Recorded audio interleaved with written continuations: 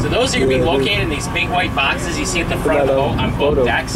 Luckily for us, we're not going to need them today, so you can just leave them right where they are. And we're also a smoke-free vessel today. We do thank you in advance for that. That does include e-cigarettes like Juuls and vape pens. There is a smoking area on the south dock at Singer Castle though. We'll talk about that as we get a little bit closer to the island. We did see a couple small children